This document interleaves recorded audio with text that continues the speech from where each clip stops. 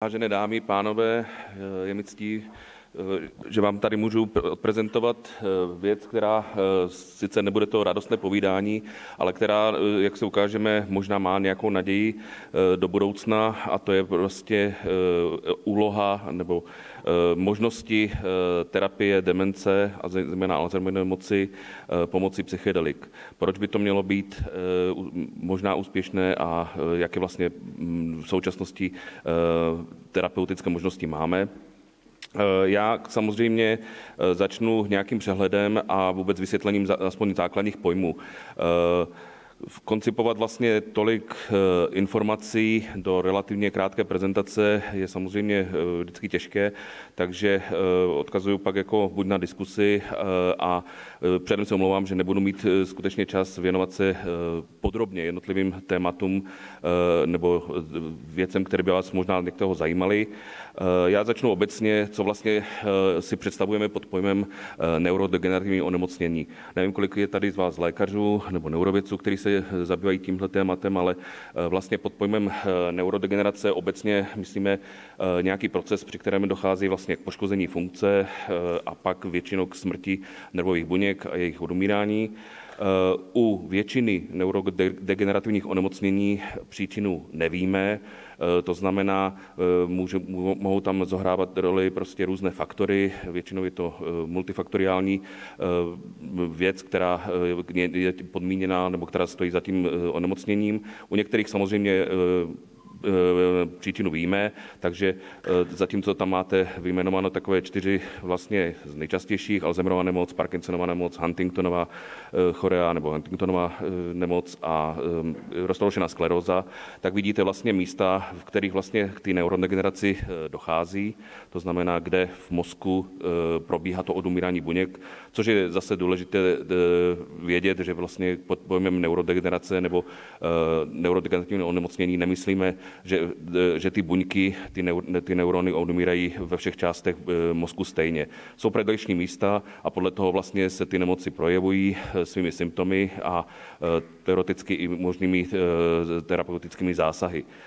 To, co ke konci většiny neurodegenerativních onemocnění vede, je zmenšení mozku, to znamená to, co vidíme vlastně na tom obrázku vpravo, kde nahoře prostě máte řez normálním mozkem a dole pod tím vidíte, jak je mozek atrofický, to znamená u některých nemocí, jako je Alzheimer nemoc, ztrácí až 50 svého objemu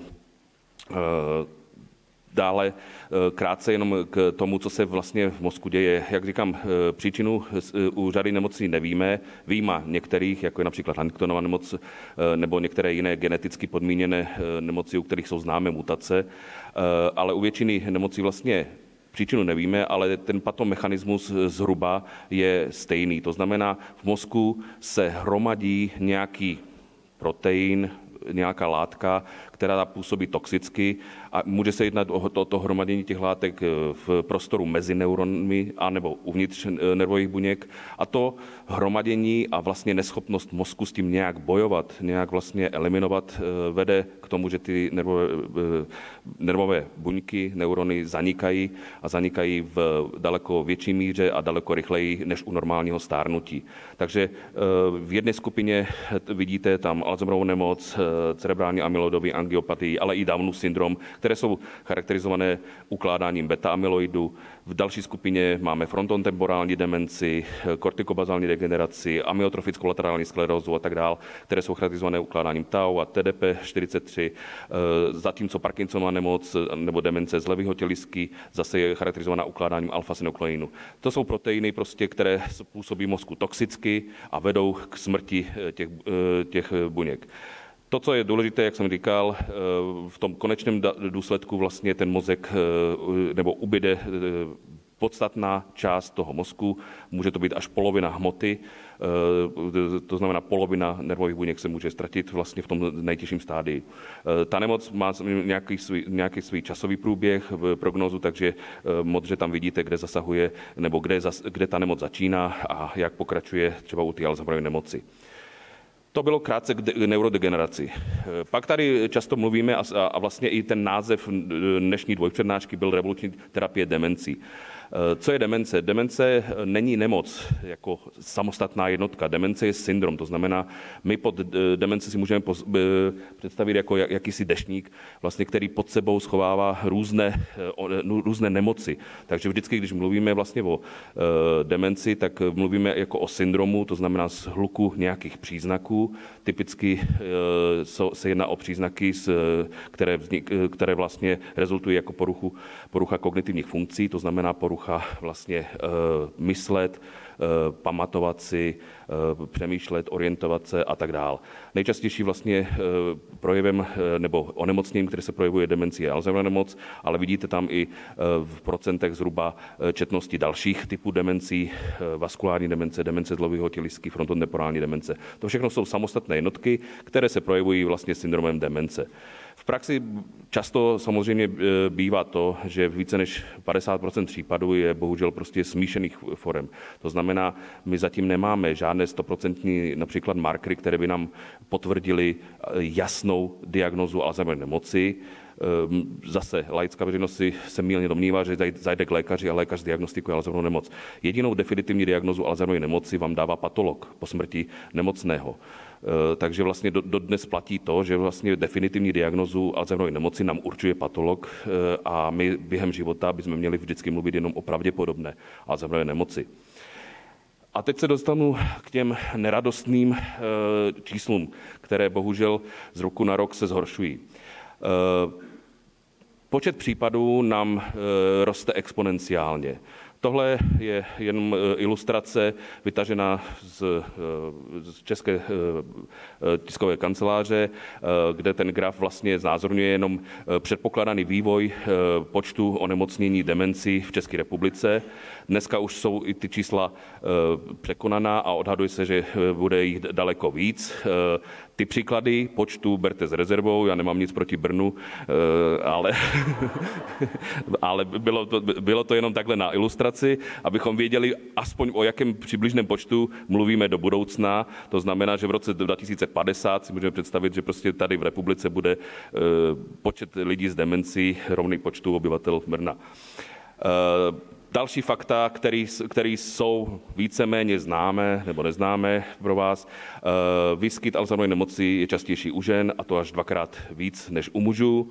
Nesouvisí to s délkou života. My víme samozřejmě, že ženy se dožívají vyššího věku, ale není to ten faktor, který by eh, byl zatím, že ty čísla jsou dvojnásobně větší. Prostě ženské pohlaví je rizikovým faktorem. Eh, počet umrtí na Alzheimerovou nemoc dramaticky stoupnul i v důsledku eh, pandemie COVID-19. Eh, má to své samozřejmě příčiny jasné, protože vlastně my dneska už považujeme vlastně Alzheimerovou nemoc za jistou formu e, zánětlivého onemocnění. Ten zánět, který probíhá v mozku, je, je sice něco, co my nazýváme sterilním zánětem, tam nejsou bakterie, nejsou tam viry, je tam ten protein, ale ten mozek se snaží s tím bojovat, jako by to byl zánět. Takže jakýkoliv jiný e, jiné onemocnění, které se projevuje zánětem, e, zhoršuje, jak, zhoršuje dramatický stav toho pacienta a vede k vyšší mortalitě. Eh, dále víme, že jeden ze tří seniorů umírá s Alzheimerovou nebo jinou demencí. Bohužel spousta případů, eh, jak v České republice, ale i v jiných zemích, je nediagnostikovaná. Ty odhady říkají, že víc než vlastně 50 eh, pacientů s demencí vlastně ani se o nich neví. Jsou to pacienti ležící v LDNkách, kde vlastně ta diagnoza nebyla ani stanovena, všechno se tam združuje pod, pak pod termíny skleróza a podobně. Alzheimerova nemoc zabíjí víc lidí než karcinom prsu a karcinom prostaty dohromady. A bohužel i tady, když se na vás podívám, tak jeden ze tří lidí v produktivním věku do budoucna onemocní Alzheimerovou nebo jinou demencí. E, ty, ty čísla jsou skutečně e, velmi jako neradostná a e, nevíme zatím, co s tím dělat.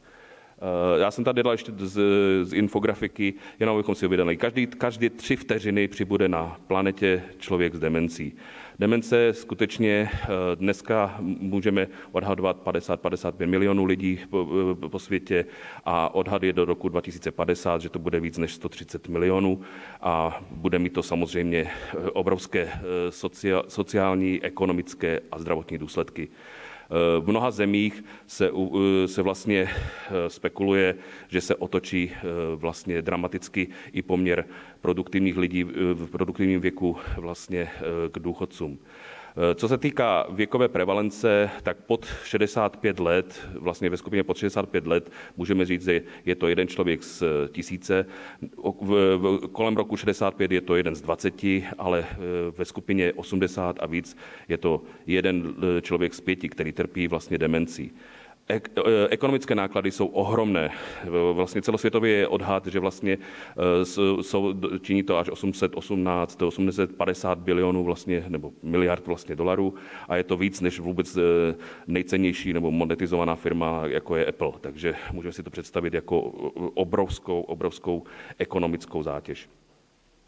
Ty projekce, jak říkám, se mění a mění se dramaticky. Zatímco v roce 2015, eh, eh, to je ten slide, to svítí, jo, eh, takže zatímco v roce 2015 vlastně publikace Bruckmayera odhadovala, že v roce 20, to znamená za pět let, bude nějakých 41 milionů lidí na světě trpět Alzheimerovou nemocí, tak vlastně posunuto o sedm let dopředu v Lancetu v roce 22. Už, se, už jsou ty čísla tak, že vlastně už, už v roce 19 jich bylo 57 milionů a ten odhad už je, že v roce 50 jich bude 152 milionů.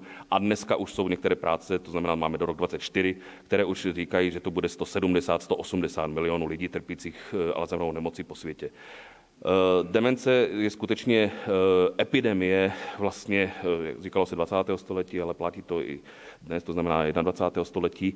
A bohužel zatím nejsou náznaky, že bychom mohli s tím něco dělat. Demence zabíjí každým rokem víc a víc lidí a zabíjí dramaticky rychle a nárůst úmrtí na demenci exponenciálně zrychluje. My jsme dobrý, dobří jako lékaři v tom eliminovat eh, a redukovat mortalitu u řady jiných onemocnění. Vidíte grafy, všechno, co vám tam klesá, tak jsou to nemoci srdce, nemoci eh, cerebrovaskulární, eh, já nevím, nádory plic, chronické respirační nemoci. Vidíte, jak v těch letech 2015 až 2001 až 15 a dole v, ve Velké Británii vlastně eh, v rok 2001 až 2022, jak eh, všechno klesá, kromě demence. Jo, ten jediný skok tady samozřejmě, pardon,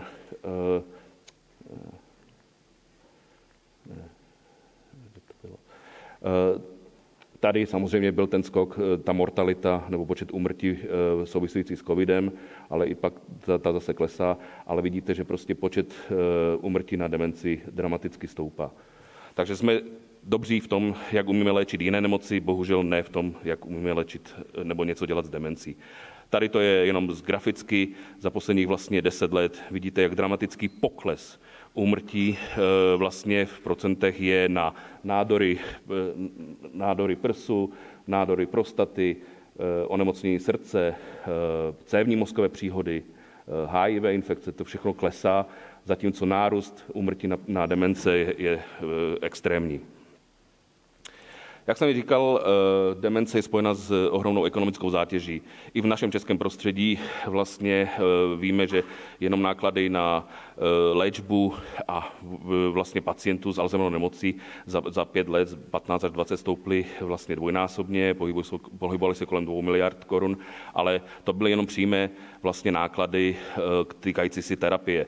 Nebyly v tom započteny samozřejmě další náklady, které souvisí právě s tím, jak ta, eh, jak ta nemoc vlastně eh, se projevuje v rodině, jakou zátěž socioekonomickou má pro pečovatele a příbuzné. Takže my víme, že vlastně i ty přímé ekonomické náklady na pobyt jednoho člověka třeba v domově důchodců jsou tři až čtyřikrát nižší než na pobyt toho klienta v specializovaném domově, to znamená domově pro specializovanou péči. Eh, ty náklady prostě narůstají a eh, nevíme vlastně, co s tím dělat. Eh, můžeme samozřejmě se podívat na to, co nás ohrožuje, v čem můžeme pre, působit preventivně, abychom to nedostali, abychom toho Alzheimera nedostali a co zase máme eliminovat a čemu se vyhýbat. Jak jsem říkal, vlastně jsou faktory, které ovlivnit nemůžeme. Nemůžeme ovlivnit věk a nemoc, vlastně Alzheimerova nemoc jednoznačně s věkem souvisí. Zatímco ve věkové skupině 60 až 65 let máme 1% nemocných, s Alzheimerovou nemocí, tak každých pět let výš se, se nám to číslo zdvojnásobuje. Takže e, není to lineární, ale je to exponenciální. A podle skutečně řady studií se ukazuje, že ve skupině starších 85 let každý třetí, podle některých údajů dokonce každý druhý člověk starší 85 let trpí demencí. E, ty čísla samozřejmě region od regionu jsou jiná, ale e, bohužel, bohužel budou se týkat i nás. Minulý rok v listopadu 23 Český statistický úřad vydal prognózu demografického vývoje v České republice. Na grafu vidíte prognózu eh, a data od roku 2011 do roku 2101 pro Českou republiku. A máme tam tři skupiny. Eh, červená jsou děti 0 až 14 let, modrá jsou lidi v produktivním věku 15 až 64 a zelená jsou vlastně důchodci, to znamená lidi starší 65 let a výš. Eh, vidíme, jak dramaticky vlastně eh, ten, eh, ty, ty, k jaké dramatické změně vlastně věkové struktury v České, v České republice dojde. To znamená, žádný baby boom a podobně se nechystá a, a vidíme, že ten pokles je bohužel setrvalý, to, co se týká porodnosti a, a přibývání teda dětí. Naopak to, co nám stoupá, jsou v produktivním věku. Jo, takže eh, to, co, to, čeho se obávají některé země, eh, i vyspělé země, eh, že se například i v rámci socioekonomiky obrátí ten poměr, který činí ještě možná dneska jeden důchodce na dva lidi v produktivním věku na jednoho, v produktivním, jednoho člověka v produktivním věku na dva důchodce. Tak, z dalších vlastně faktorů, které můžeme nebo nemůžeme ovlivnit, tak samozřejmě uh, už jsem mluvil o ženském pohlaví.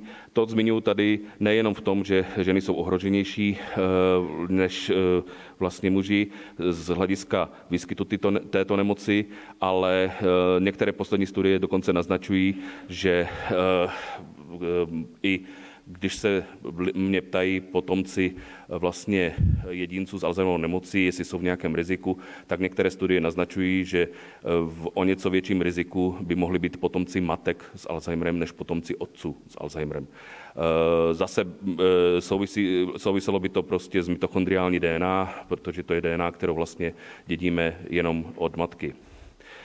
Z hlediska vlastně genetiky dneska pokud eh, se nebudeme bavit o geneticky podmíněné Alzheimer nemoci, která populaci činí tak 1-2% ze všech případů Alzheimer nemoci.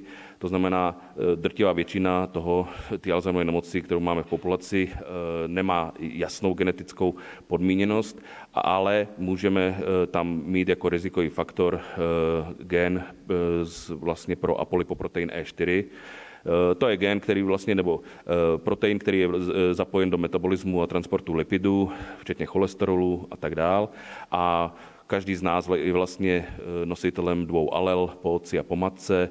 Ten gen se vyskytuje ve třech formách E2, E3, E4, takže můžete být E2, E2 a to je ten případ, kdy máte výhodu, protože E2 se, se e, dneska považuje za protektivní faktor. Bohužel, když máte tu smůlu a jste E4, E4, tak máte vlastně v, v zvýšené, nebo nejvíc zvýšené riziko Alzheimerovy nemoci. Nicméně pořád, i kdyby vás e, dneska vyšetřili, že jste nositelem E4, E4, tak vlastně to neznamená, že tu nemoc e, dostanete 100% jako jistotou, pouze, že máte o něco zvýšené riziko.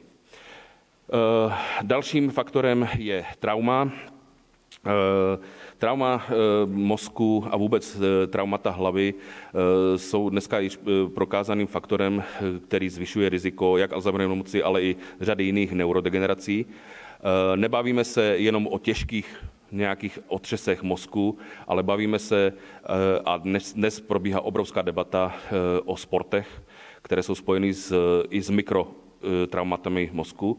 To znamená, e, začalo to v, ve Spojených státech vlastně tím, že e, všímali si, a teď nemyslím jenom boxery, ale i hráče amerického fotbalu a podobně, který v pozdějším věku, u kterých se v pozdějším věku často rozvinula nějaká forma neurodegenerace a specifické demence Nicméně pak ty studie se vlastně jako zaměřili i na mladší skupinu a v současné době se vede velká debata, dokonce i u dětech, které vlastně hrají klasický fotbal, kde dokonce i vlastně hlavičkování míče eh, způsobuje nějaký mikrotrauma a spekuluje se, jestli to vlastně dětem povolit a třeba od jakého věku. Takže skutečně i drobná mikrotraumata v mozku jsou rizikovým faktorem. Pak je to samozřejmě úroveň vzdělání, Eh, dalším eh, faktorem rizikovým, o kterým se možná méně ví a určitě laická veřejnost to eh, neví až tolik, je celková anestezie. Celková anestezie po 60. roku věku je rizikovým faktorem. To znamená, pokud plánujete a je to možné eh, se nechat operovat, nebo vašich rodičů, starých rodičů, pre, preferuje nebo preferujte eh, anestezii spinální, epidurální před celkovou. Ty data jsou jednoznačná. Eh, ve Spojených státech už je to víceméně nařízeno, to znamená, co lze u člověka staršího 60 let operovat mimo celkovou anestezii, má se operovat mimo celkovou anestezii. Já chápu, že, že u ty laické veřejnosti je to naopak spojeno s tím, že když si dám celkovou anestezii, tak je to pohodlíčko, uspí mě a všechno usnu, zatímco nechat si vrtat do páteře epidurálem je prostě velká trauma. Bohužel ukazuje se, že, že pro ten mozek je to obráceně. To znamená, ty anestetika působící e, spinální epidurální anestezii jsou šetrnější a vedou k menší, menšímu počtu případů po, e, po operačních delirií a rozvoji rozvoji demence než celková anestézie. Eh, dále samozřejmě redukce eh, rizikových faktorů, jako je hypertenze, diabetes, neléčená deprese. Dneska už víme, že čím víc eh, během života má člověk neléčených epizod deprese, o to větší riziko Alzheimerovy nemoci u něho je. To, to je známo z, z kandidátských registrů na obrovském počtu subjektů. Pak samozřejmě nějaká anticholinergní medikace, která nám eh, tu, tu, tu kognici může zhoršovat a při dlouhodobém používání eh, i způsobit eh, demenci a nedostatek spánku. K tomu se ještě dostanu. Co se týká protektivních faktorů, to znamená toho, co by nás mohlo ochránit, tak zase jsou faktory, které neulivníme, jako je genetika, takže když jste nosiči, jak jsem říkal, genu pro apolipoprotein E2, tak jste ve výhodě. Vyšší úroveň vzdělání samozřejmě, eh, ale například i dlouhodobá léčba nesteroidními antiflogistiky. Eh, zase není to něco, co bychom mohli preventivně radit, protože eh, samozřejmě já tady nechci, abyste odcházeli s tím, že doktor Brunovský řekl na přednášce, že máte každý den zobat ibuprofen. Ale je to známo, že lidi, kteří trpí nemocí, například reumatoidní artritidou nebo jinými zánětlivými nemocemi, které, kde, kdy musí ty léky užívat, tak eh, jejich dlouhodobá konzumace je spojena s nižším rizikem rozvoje Alzheimerovy nemoci. Má to asi eh, zase společ, společně to, eh, že ten mozek vlastně v rámci Alzheimerovy nemoci v něm probíhá něco, co, je, co my nazýváme sterilním zánětem a tam ty protizánětlivé léky fungují. Dále je to samozřejmě potvrzený vliv estrogenu u žen, u postmenopauzálních žen, který snižuje Eh, riziko rozvoje Alzheimerovy nemoci, fyzická aktivita, psychická aktivita a myšlená nejenom nějaký čtení a sudoku, ale i specifické kognitivní tréninky. Dneska už je spousta aplikací, eh, které eh, vysloveně se zaměřují a monitorují vaše kognitivní funkce a umějí s váma vlastně nějakou formou komunikace zlepšit tu oblast kognice, která je u vás třeba postižená nebo která vykazuje nějaké oslabování. Eh, dále potvrzený eh, jednoznačně eh, souvislost vlastně s dietetárním příjmem a to zejména středomořská strava. Jo, hodně jste slyšeli prostě o jako Mediterranean diet, dash, dash diet, mind diet. Všechno vychází vlastně zhruba z těch doporučených postupů, to znamená hodně ovoce, zeleniny, olivový olej, to znamená polynenasycené mastné kyseliny a tak dále. Eh, potvrzené jsou i další, eh, ať již na zvířatech, ale i na eh, zkoumání lidské populace, to znamená příjem kofeinu, je spojen se, snižováním rizika Alzheimerovy nemoci, ale i často kritizovaný taurin se ukazuje podle studií, že by mohl vést k snížení rizika rozvoje Alzheimerovy nemoci. A v našich končinách prostě vitamin D. Tady vlastně česká populace patří k populacím, která je chronicky poddávkovaná a hypovitaminizovaná ze, ze, ze strany vitamínu D, ať již je to tím, že se vystavujeme méně, méně slunci, kde vlastně z toho preaktivního vitamínu vzniká ten aktivní, takže i jako suplementa jsou doporučovány vlastně zvýšit dávky vitaminu D. Je to potvrzeno i na základě epidemiologických studií, které se dělaly třeba i v Národním ústavu duševního zdraví, kde se prokázalo, že velká většina pacientů s jakoukoliv psychiatrickou diagnozou, s jakýmkoliv duševním onemocněním vykazuje nižší hladiny vitaminu D než zdravá populace. A pak je to ten dostatek hlubokého spánku.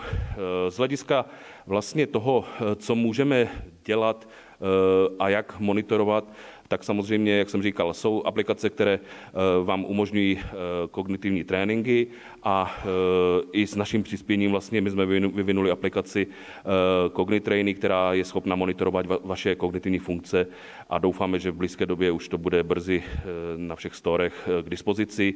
To znamená aplikace, která každé tři měsíce vlastně u člověka staršího doporučujeme 50 let, vlastně každé tři měsíce ta aplikace jednak testuje eh, ten kognitivní status, ale eh, zaznamenává i vlastně eh, mimiku obličeje, zaznamenává váš hlas, protože se ukazuje, že jsou markery, například marker pro Parkinsonovu nemoc ze změny hlasu.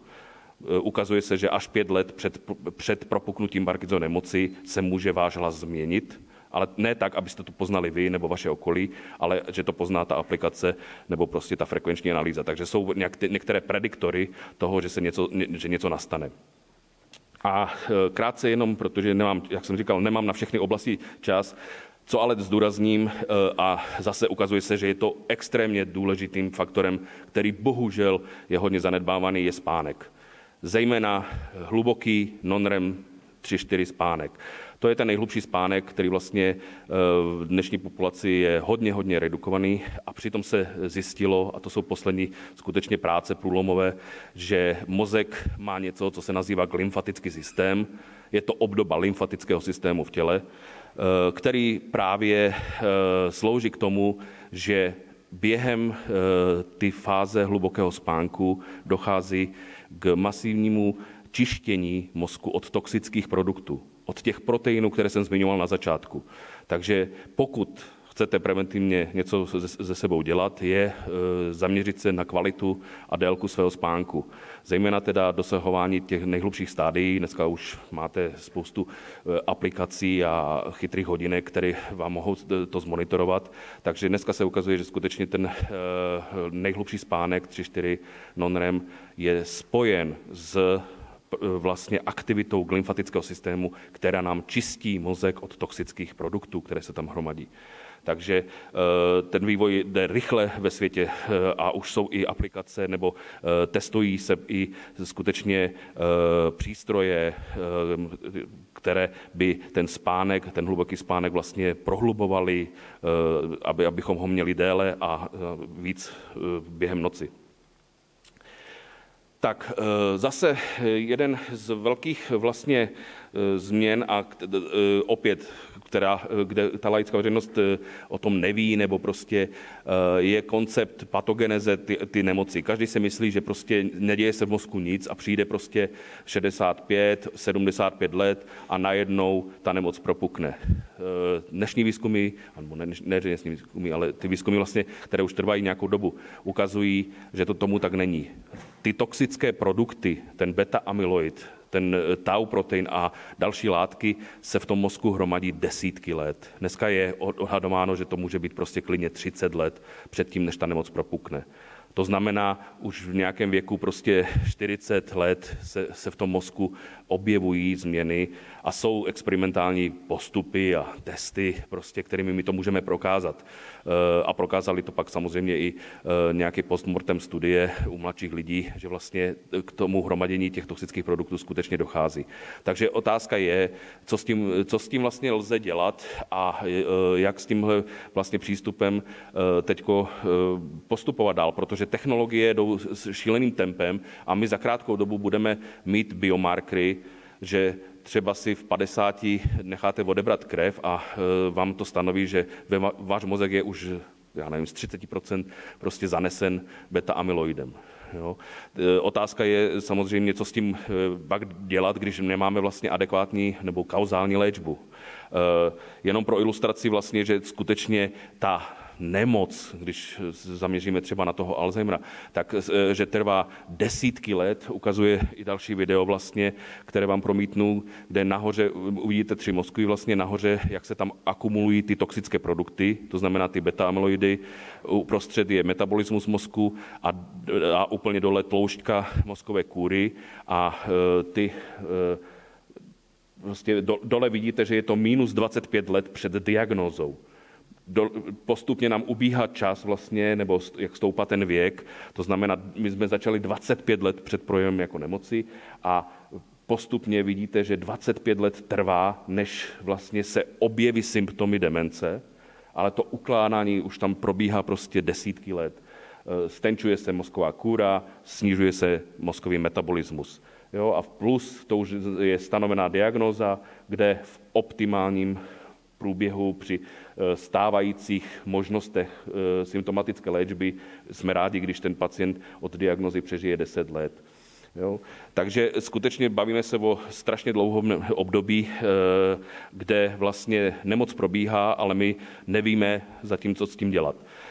Léky, které máme k dispozici, nejsou kauzální, neumí to vyléčit. Eh, mluvíme o symptomatické léčbě a když se podíváte na ten graf, tak vlastně eh, čtyři léky, protože to čtvrtý, nebo to pátý, to je jenom náplastová forma. Takže vlastně uh, rivastigmin, galantamin, donepezil, memantin, to jsou čtyři kognitiva, které máme dnes k dispozici. Přičemž první z nich bylo, přišel na trh v roce 96, poslední v roce 2002 a od té doby nic. Jo, prostě.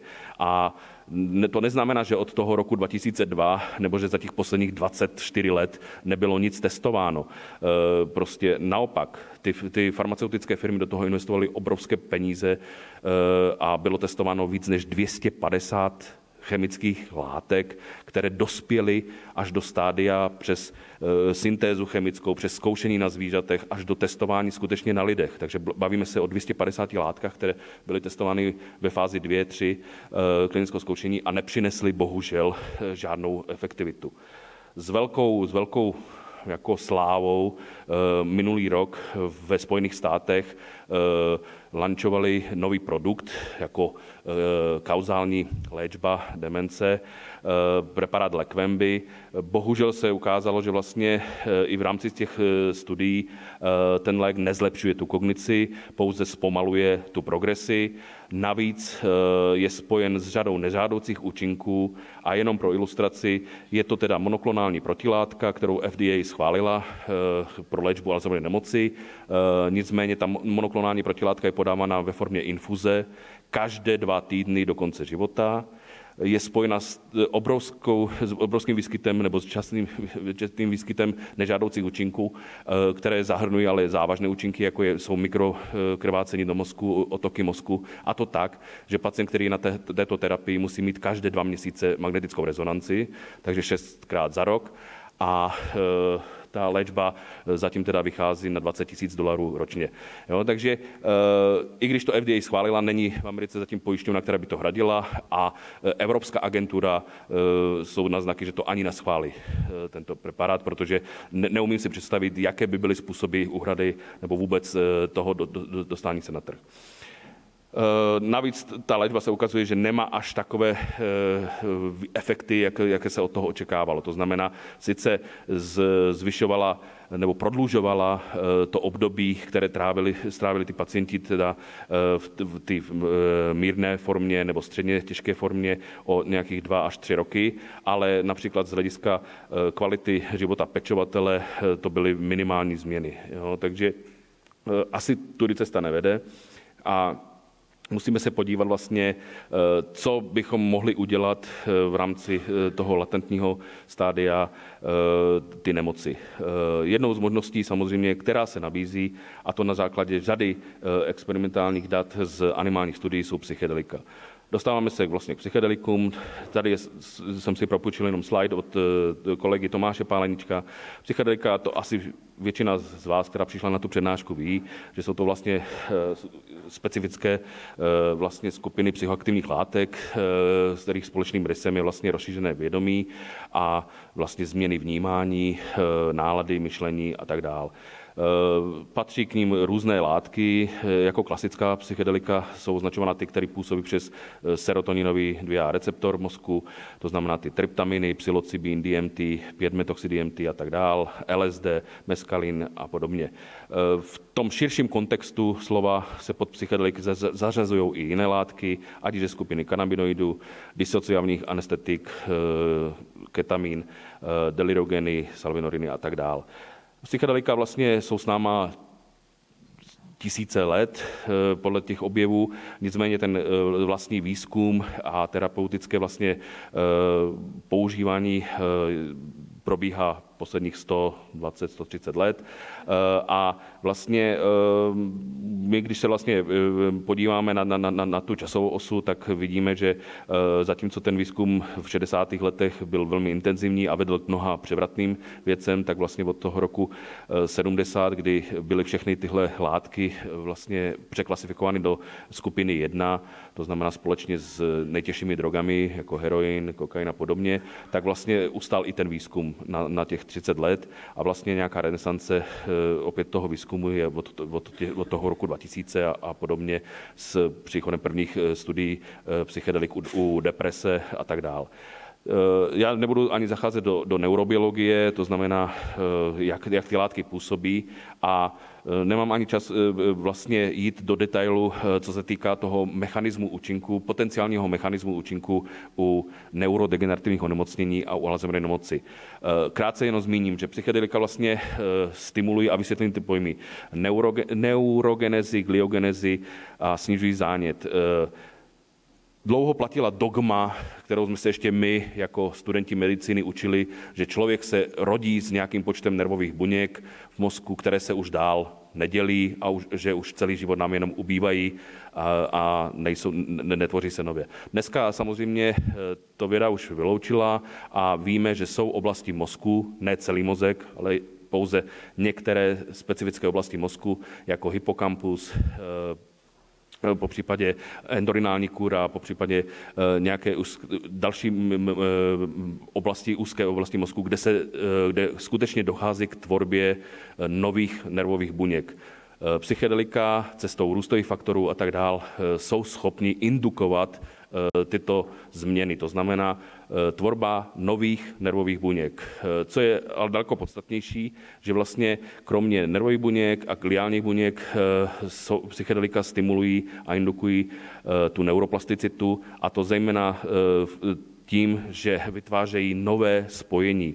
Ono není ani tak důležité, kolik, nebo tak berte mě s rezervou, ale kolik těch buněk v mozku je, ale eh, pro, ty, pro to fungování mozku spíše jde o počty spojení. My víme, že odhadem lidský mozek má 70 až 100 miliard nervových buněk, ale každý, každá ta nervová buňka může být spojena s 5 tisíci až 50 tisíci dalšími, takže mluvíme o ohromný neuronální síti a právě tu síť eh, ty psychedelika jsou schopni zvyšovat nebo eh, zvyšovat tu hustotu ty sítě.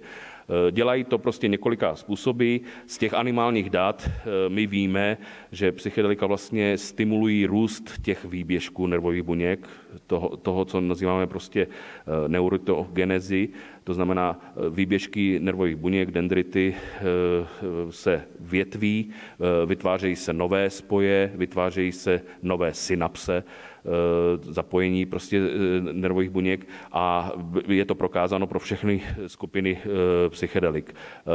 Tohle všechno jsou prostě animální data, kde tím vech, to, vech je označováno vehikulum, to znamená nějaký fyziologický roztok a pak další látky vlastně, Eh, jsou ze skupiny psychedelik, demetyltryptamin, LSD eh, a vidíte, že všechny vedou k tomu, že to košatění toho neuronu, těch nervových buněk je daleko intenzivnější. A to už i po, po jednorázovém podání. Eh, zvyšuje se teda eh, počet eh, výběžků nervových buněk, zvyšuje se počet synapsí, vedou teda synaptogenezi, zvyšuje se počet synaptických trnů na těch buňkách po podání psychedelik a to všechno je spojeno se zvýšením neuroplasticity. To znamená, ten mozek se skutečně pod vlivem psychedelik a říkám, ty cesty a dráhy jsou různorodý. Dneska už eh, ten výzkum eh, pokročil a víme, eh, kterými zhruba mechanismy. Takže jeden z velkých mechanismů, jak by mohly tyto látky působit a dokonce preventivně na tu neurodegeneraci, je právě kompenzatorním vlastně zvýšením neuroplasticity přes zvýšenou tvorbu výběžku a počtu spojení nervových buněk. Eh, proto se eh, v některých článcích prostě objavují termíny jako psychoplastogeny, protože skutečně tu plasticitu eh, ty psychedelika zvyšují. Kromě toho, že působí přímo na růst nervových buněk, výběžku nervových buněk, na počty spojení nervových buněk, psychedelika vykazují i řadu dalších pozitivních účinků. Jeden z velkých pozitivních účinků je, že snižují a tlumí zánět mají protizánětlivé účinky. Eh, my jsme si už eh, řekli, že vlastně Alzheimer, Alzheimerova nemoc je dneska považováno za jistou formu sterilního zánětu v tom mozku. Ten mozek skutečně eh, tím, že tam dojde k ukládání toho špatného proteinu, se brání a probíhá něco jako zánětlivá reakce v tom mozku. Pokud podávám látky s protizánětlivým účinkem a ukazuje se, že ty psychedelika i takhle fungují, tak skutečně tlumím ten zánět a zvyšují vlastně počty přežívajících nervových buněk. Eh, dalším způsobem jsou, že eh, existují eh, další a další mechanismy chemické laboratoře, například i stávající látky, jako je například již zmíněný donepezil, obohacují s tím, že navážou třeba chemické látky z, z, vlastně ze skupiny psychedelik, jako je harmin, harmalín a prokazuje se, že tyto látky s tou navázanou strukturou mají větší potenciál v potlačování vlastně toxicity toho beta beta-amyloidu, to je z toho toxického proteinu, který se u Alzheimerovy nemoci hromadí. Takže ten potenciální efekt vlastně psychedelik je známý, jsou vlastně z množství animálních modelů. A my skutečně máme docela eh, zajímavé a eh, vlastně validní modely, ať již myší nebo krysí modely Alzheimerovy nemoci. Takže ty data nám prokazují skutečně ohromný efekt psychedelik v potlačování vlastně toxicity těch amyloidových produktů eh, na ten mozek, to znamená v jako, jakési prevenci a léčbě eh, Alzheimerovy eh, nemoci. Mluvím o animálních modelech. S tím kontrastuje docela to, že vlastně, když si zadáte do světového registru klinických studií, že téměř nic nenajdete.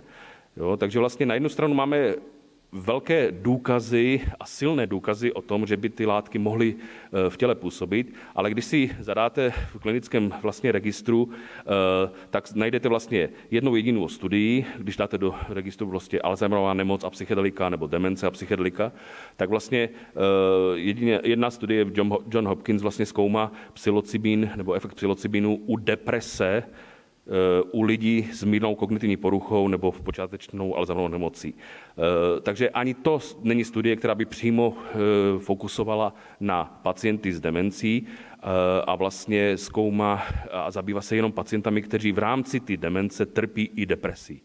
Jo, takže to nás vedlo k tomu, že vlastně jako pilotně na světě chceme otestovat použití psychedelických látek v seniorské kognitivně alterované populaci. Má to řadu samozřejmě výzev eh, a řadu komplikací, protože eh, nemůžeme odkázat eh, při tom jednání s regulačními orgány, ať už se státním ústavem pro kontrolu léčiv nebo s Evropskou lékovou agenturou, my se nemůžeme opřít o žádné vlastně relevantní humánní data. Vycházíme z animálních dat a z toho všeho, co, co o těch psychedelikách víme. Nicméně i tak plánujeme teda udělat studii, kterou vlastně, kde plánujeme v rámci 12-měsíčního vlastně sledování Eh, otestovat eh, ketamin eh, versus 5-metoxy dimetyltryptamin versus aktivní nějaký placebo u subjektu s mírnou kognitivní poruchou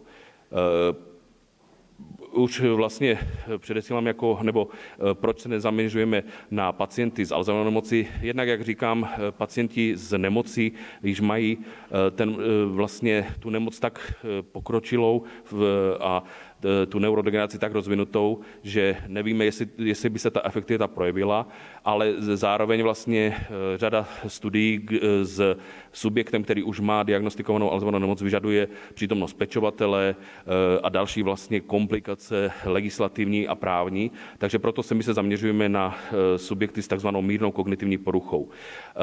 Mírná kognitivní porucha je jakási šedá zóna mezi zdravým stárnutím a začátkem demence. Jo? Mám, jsou to lidi, kteří vlastně subjektivně e,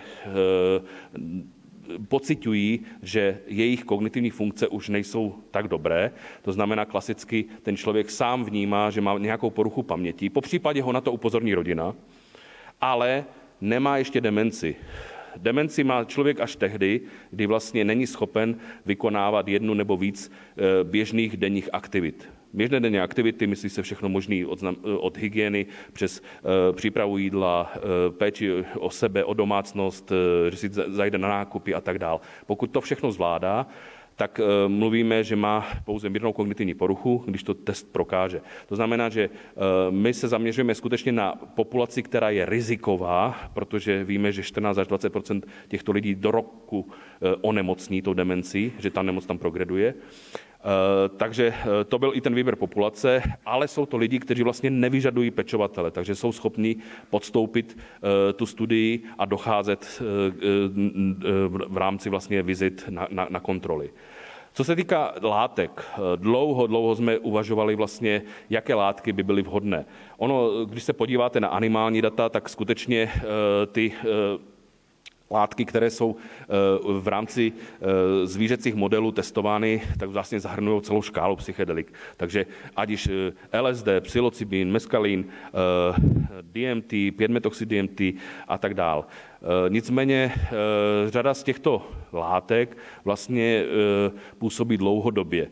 My, my naopak se snažíme, aby ta seniorská populace nebyla, jednak nedostávala vysoké dávky, Eh, a eh, aby vlastně netrvala ta intoxikace, nebo ten psychedelický efekt vlastně netrval dlouho. Takže proto jsme se rozhodli, že budeme eh, podávat vlastně 5-metoxy DMT a ketamin a to formou nosních kapek. Tím pádem vlastně máme zaručeno to, že to podání je relativně jednoduchý, je krátkodobý a e, v dávkách, které my plánujeme, což je 1-2 mg 5 mO DMT, po případě 10 mg ketaminu, tak nebude působit nějaké masivní e, intoxikace nebo výrazné psychedelické efekty, ale při chronickém užívání e, doufáme, že ten efekt proti neurodegeneraci se nakumuluje. Takže vlastně eh, my jsme řešili, eh, jak často třeba podávat pak ty, ty látky a bohužel to je asi i ten důvod, proč tyto studie ve světě neběží, protože něco jiného je testovat tyto látky na depresi, kdy vám stačí 8 nebo 12 týdenní studie a máte hotovo a vidíte ten efekt. A něco jiného je, když musíte minimálně rok pozorovat toho člověka a vlastně e, na základě i velkého souboru e, subjektů pak e, odhadnout statisticky nebo podívat se statisticky, kolik z nich progredovalo do ty demence a kolik ne. i, i rok je krátká doba, ale prostě každé prodlužování ty studie vlastně evokuje ohromné ekonomické náklady. My jsme se podívali vlastně a šel nám příklad jeden článek vlastně z hlediska toho dávkování, kde se vlastně zjistilo, že všechna ty, ta psychedelika vám otevírají vlastně jakési okno příležitosti, kdy se tím člověkem dá něco dělat. Ty, co eh, mají nastudováno eh, léčbu eh, deprese nebo úzkostných poruch pomocí psychedelik, po případě posttraumatické stresové poruchy, tak vidí, o čem mluvím. To znamená, to psychedelika nám jako otvírá vlastně jak, jakési okno, kdy, časové okno, kdy můžeme terapeuticky s tím člověkem pracovat. A z hlediska zase lidských a animálních modelů se ukazuje, že to okno koreluje s vlastně samotným akutním efektem těch těch látek. Takže když to vlastně srovnáte, tak zatímco eh, vlastně nahoře vidíte, eh, jak ta látka působí v těle, to znamená ten psychedelický samotný efekt látky, kde ketamin je velice krátký, 30 minut až 2 hodiny, psilocybin 3 až 6 eh, hodin, MDMA 3 až 6 hodin, LSD 8 až 10 hodin, ibogain 36 až 72 hodin, tak to samé prokázali zase na sociálních interakcích zvířat, kde vlastně ty látky byly schopny otevřít okno, kde, kde ty zvířata se byly schopny učit novým sociálním interakcím a tak dále, ale ta doba samozřejmě toho okna e, zase byla delší, ale e, časově korelovala s tím akutním efektem. To znamená, látka jakoby způsobí akutní psychedelický efekt, ale zároveň nám otevře vlastně okno ty neuroplasticity, nebo zvýšené neuroplasticity, které v rámci ketaminu je 48 hodin, v rámci psilocybinu 2 týdny, MDMA 2 týdny, LSD 3 týdny, ibogain až 4 týdny. Jo, takže uh, vidíme, že vlastně ta, tam ta korelace je s, s, s, tou, s tím uh, akutním efektem. V rámci designu teda plánované studie, ale podotýkám, to je všechno zatím jen v plánu. My jsme skutečně při přípravě, eh, aktuálně při přípravě terapeutického protokolu, čeká nás ohromné množství eh, administrativy, byrokracie, eh, komunikace s úřady, s Evropskou lékovou agenturou a vůbec jenom budeme doufat, aby to vůbec povolili. Ale ten plán studie by byl zhruba takový, jak tam vidíte, to znamená sledování asi 12 měsíců, zhruba zatím odhad 150 subjektů, 50 50 na každou skupinu, to znamená 50 ketamin, 50 5 ml DMT, 50 aktivní placebo, dávkování dvakrát týdně, jo, takže eh, skutečně eh, se jedná o chronické podávání těch látek, eh, ale v jako menší množství, právě i z hlediska potenciální potenciální říkám, toxicity a tak dál. Takže budeme doufat, že tento, tento design vlastně bude přijatelný pro regulační orgány a samozřejmě podstoupit ty pacienti na začátku, pak i v průběhu a hlavně na konci eh, masivní testování různými eh, magnetickou rezonancí, krevní parametry, EEG a tak dál. Eh, jenom pro ilustraci, ten odhadovaný budget je asi na 44 milionů, takováhle studie. A i proto se tady scházíme a i proto děkuji eh, nadačnímu fondu, že vlastně eh, snaží se a eh, vybírá peníze, protože látky, o kterých mluvím, jsou nepatentovatelné, takže do toho vám žádná farmafirma neinvestuje. Není to nová, nový, nová molekula, kterou by si někdo zapatentoval a sehnat skutečně peníze, takhle velké peníze je problém i v, ty, v tom akademickém světě, protože ani žádný grant vám tohle nepokryje. Takže eh, děkuji vám za pozornost a budu se těšit na diskusi. Jsem se chtěl zeptat, v té první prezentaci bylo zmíněno, že anticholinergika tak tvoří významný faktor pro vznik demence. A já vím, že se historicky hodně uvažoval i o roli benzodiazepinu, jakožto léku na úzkost a na spánek, ale v poslední době tak byly taky studie, které vlastně zjistily nebo ukazovaly tím směrem, že tam asi to riziko od nich nepochází. Tak jestli na to máme nějaká nová data a jestli o nich něco víte, když tak. Eh, já jsem to tam zmiňoval jenom jako jeden z rizikových faktorů. Eh, obecně prostě anticholinergní medikace, když řeknu, tak málo kdo si prostě představí konkrétní lék, anebo většinou jako se mě ptají lidi na vzácné anticholinergika, které nejsou tak eh, zprofanovaný. Nejčastějším, s čím se v praxi setkávám, jsou léky na močovou inkontinenci ti jsou, eh, jako seniorská populace je hodně medikovaná těm, těmito léky a bohužel prostě eh, řada lékařů prostě předepisuje i ty starší preparáty, které přecházejí do mozku a způsobují sami o sobě oslabení paměti a tak dále. Takže to je jedna skupina látek. Druhá benzodiazepiny, o nich se ví samozřejmě a dneska jsou na to zase z národních registrů dlouhodobých sledování.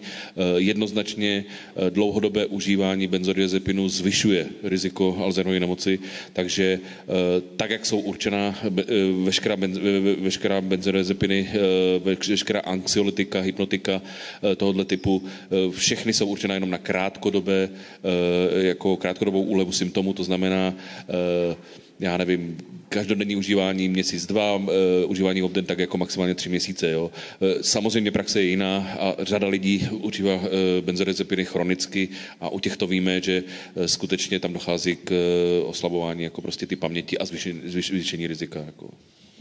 Děkuji. Tak dobrý den. Díky moc za přednášku, užil jsem si to. Chtěl jsem se jenom zeptat, v první části jste říkal, že pro regeneraci je blahodárný teda ten hlubší non-REM spánek. Myslíte si, že teda občas užít něco, co prohlubuje spánek v noci, něco, co potlačuje ten non-REM spánek, třeba kanabis, jestli je to v pořádku podle vás, jestli by to mohlo mít nějakou pozitivní korelaci s, s regenerací?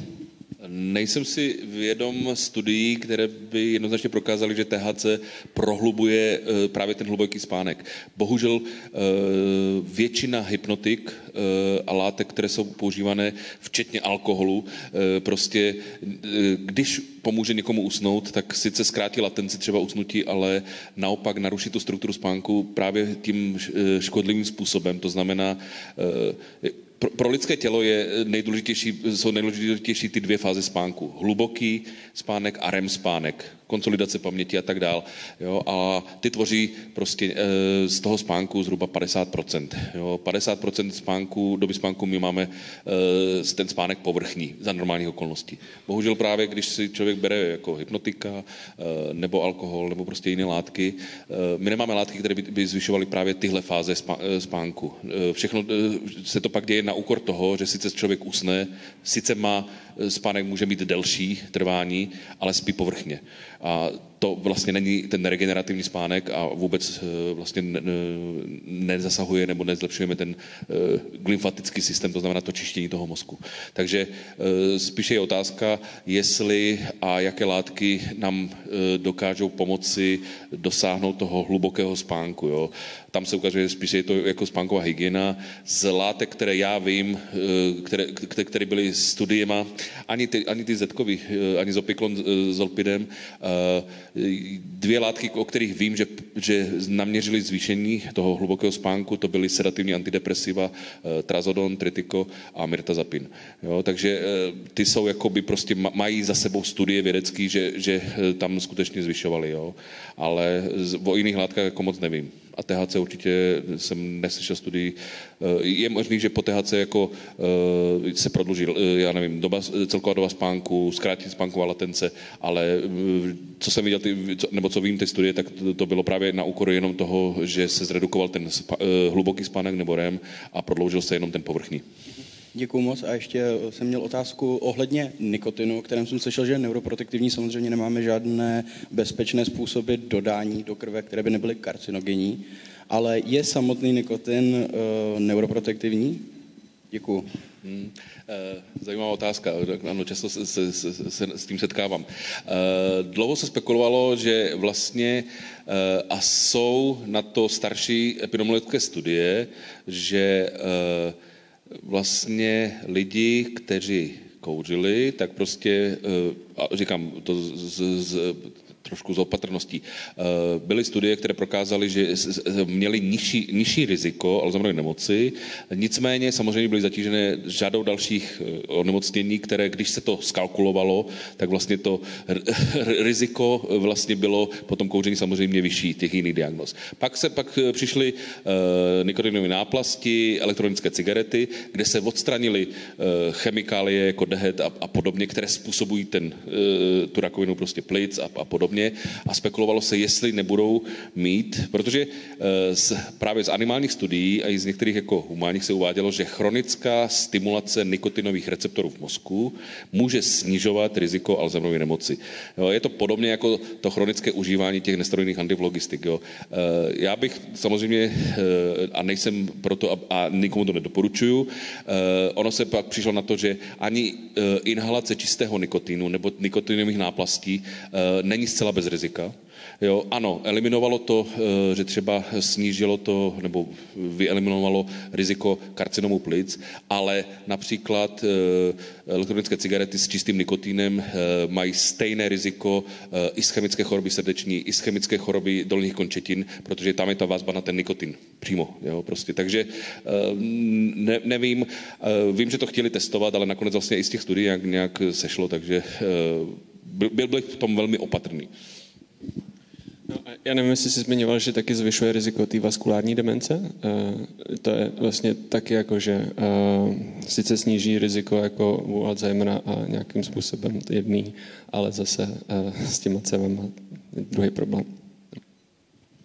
Vaše otázka a má já, někde... já, pardon, já že dávám takový klasický i, i studentům medicíny, vlastně, když vyučuju eh, ten příklad s těma nesteroidními antivlogistikama, že oni ty dřívější studie například tam e, přišli s tím, že lidi, kteří, jak já říkám, zobou ibuprofen každý den, že prostě mají snížené riziko Alzheimera. No ale ty studie byly zatížené tím, že e, nereportovali, kolik z těch lidí se ani nedožilo věku, kdy ta demence vzniká, protože e, zemřeli na krvácení do zařívacího traktu a řadu dalších nežádoucích účinků, jako spojených s touhle léčbou. Jo? A zeptám se tě, mě, mě napadlo, eh, když jsou ty látky, ten design, když je specifický, jaká míra je té specificity? Protože víme, že na psych, i na psychedelika každý reagujeme různě. Jsou prý i lidé, kde ta odpověď je téměř nulová. Slyšel jsem mluvit jednoho šamana, že do nějakého Slováka nalil neskutečné množství vývarů z lisohlávek a že to s ním vůbec nic neudělalo. Tak jestli jsou i nějaké klastry toho, že se, že, že se dělí, nebo v tom výzkumu to vůbec nehraje roli a e, řeší se to tím způsobem, jaký ty se nám prezentoval? A, tak ty asi narážíš na koncept, kterému se říká personalizovaná medicína a to je vlastně a, vývoj a, lá, nebo tam to není už o těch specifických látkách, a, jako spíše o tom, že a, děláme screening třeba genomu, anebo metabolomu, nebo prostě parametrů těch individuálních pacientů a na základě toho, jak třeba mají rychlý metabolismus, já nevím, třeba eh, ten, eh, kom říkáš, měl rychlý metabolismus právě monoaminu nebo třeba toho psilocybinu, že eh, se mu většina rozložila v zažívacím traktu, než se mu stihla vstřebat, což jako může třeba být jedno z vysvětlení. A my můžeme vlastně jako nějakým způsobem už ale je to teda náročné a každému pacientovi se musí přistupovat zvlášť, aby se zjistily ty jako jeho parametry eh, toho jeho eh, těla a organismu.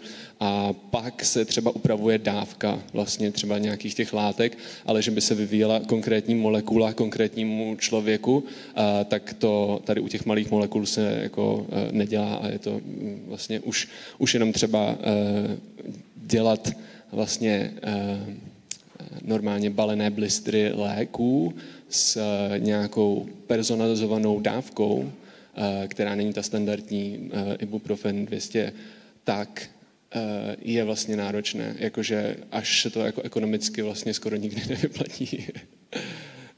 Já moc děkuji za skvělou přednášku. Já bych měl dotaz malinko jiným směrem, jestli tohle by se dalo použít na zlepšení kognitivních funkcí lidí, kteří mají ADHD, to je, to je první otázka. A druhá otázka uh, by byla, um, no nebo asi nechám mm-hmm, jo, jo, dobře. Uh, tak já vezmu psychedelika obecně v rámci ADHD a uh, co já vím, uh, tak uh, popisy různých experimentátorů se vlastně liší a někomu to může pomáhat, někomu ne.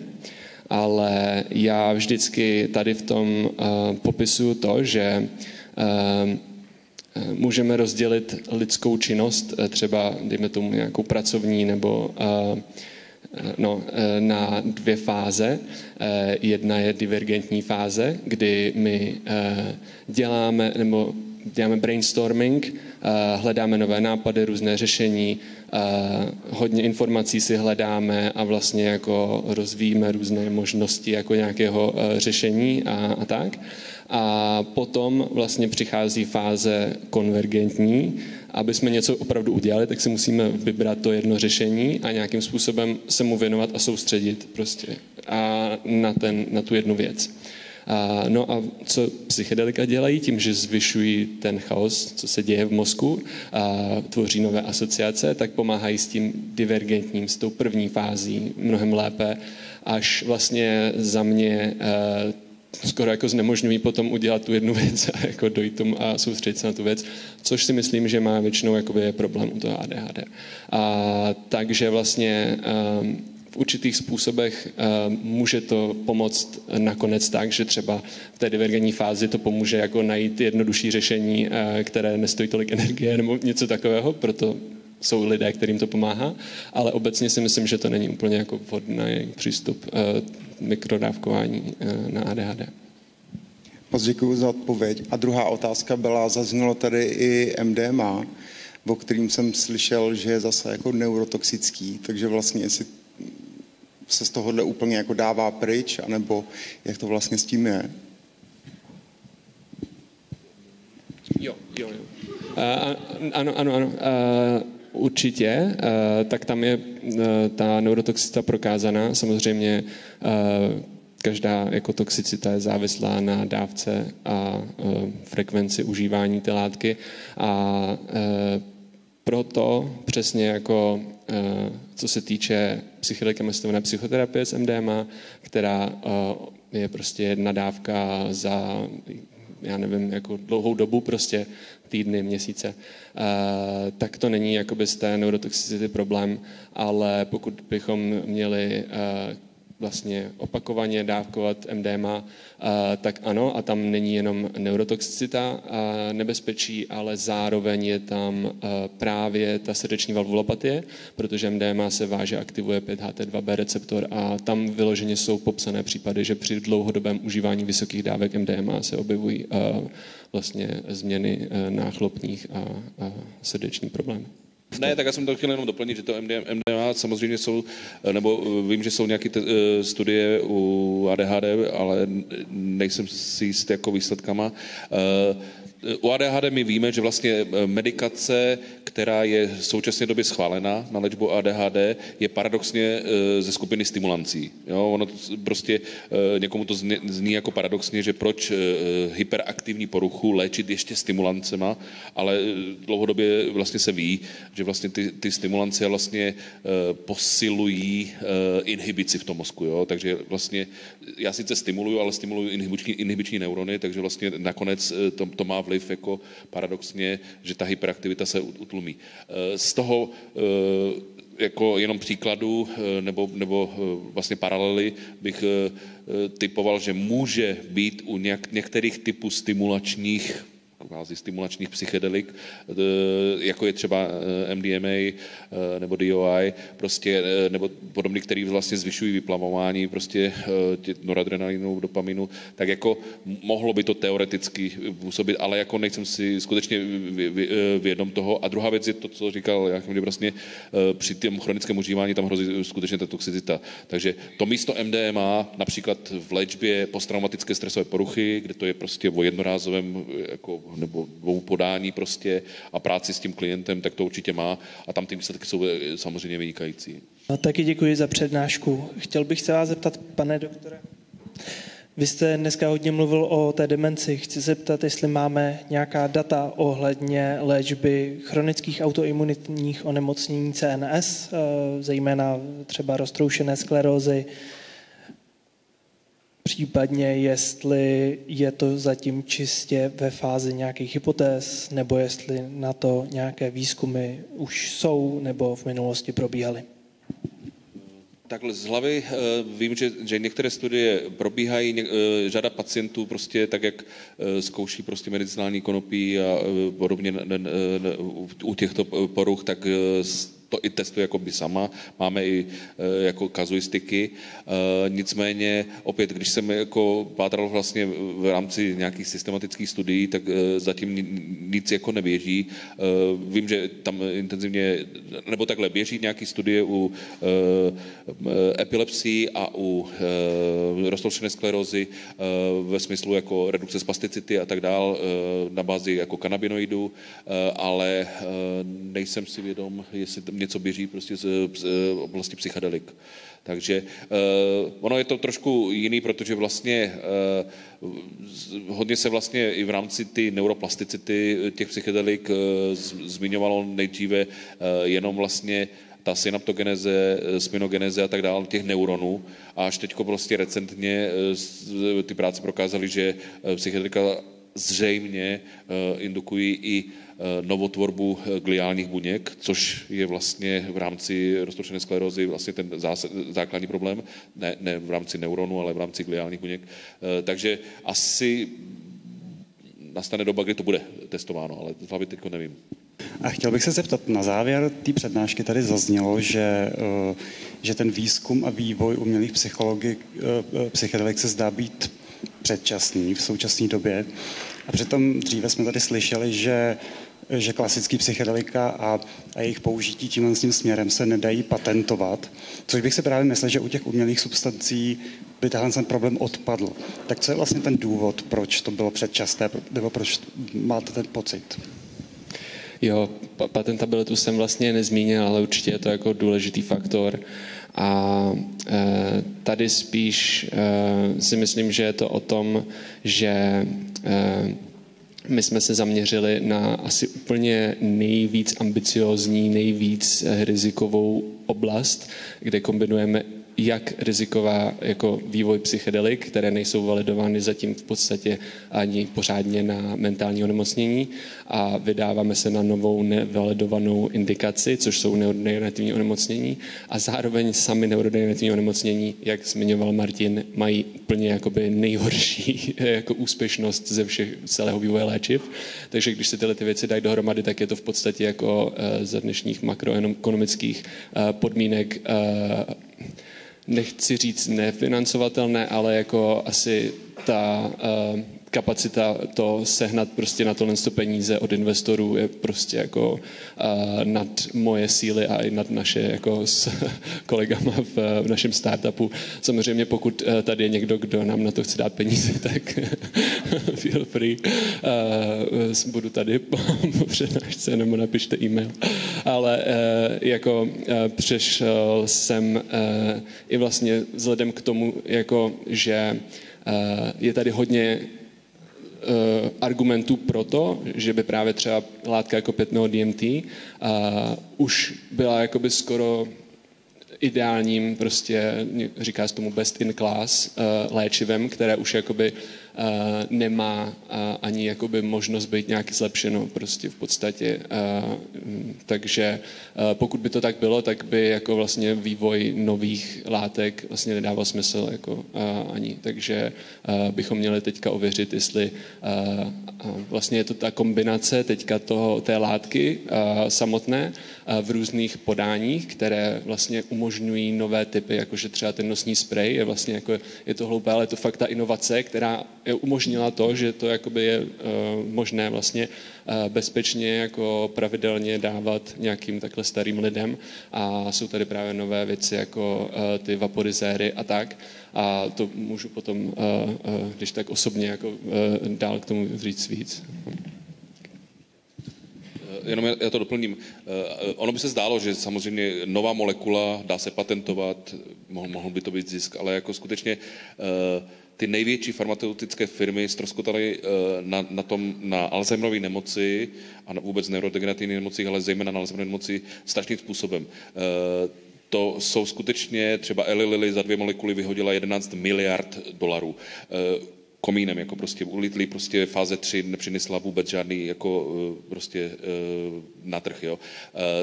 U některých firm, a to fakt jako mluvíme i, i o gigantech, eh, typu AstraZeneca, Bristol Myers Squibb a podobně, eh, tam pozavírali v důsledku vlastně těchto negativních, negativního výzkumu, nebo výzkumu, který nepřinesl ten marketing, tak pozavírali CNS divize Jo, takže nás děsí hlavně to, že prostě my vidíme na jednu stranu, jak, jak těch nemocí přibývá, e, rozevírají se nůžky mezi akademickým výzkumem a tou komercí. E, akadem, akademický, akademická instituce nemá šanci zaplatit studii, která stojí pár miliard, e, prostě na to nezíská zdroje.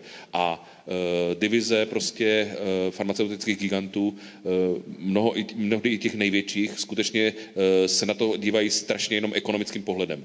Eh, takže oni, oni, když se podívají, že do, do CNS, eh, do, do, do, prostě do léku na mozek, do Alzheimera investovali miliardy a nevrátilo se jim nic a naopak eh, návratnost léku na, do onkologie nebo do imunologie je daleko větší, tak se rozhodnou prostě celou divizi zavřít prostě a pokračují ve výzkumu onkologie, imunologie, protože ta návratnost je tam daleko větší s větší pravděpodobností. Díky, tak náš čas se naplnil. Já jenom dodám, že jestli máte, jestli se na váš dotaz nedostalo, tak nás to mrzí, ale můžete napsat e-mail na info.cyrus.eu nebo kontaktovat na sociálních sítích, zejména Facebook Messenger by měl fungovat.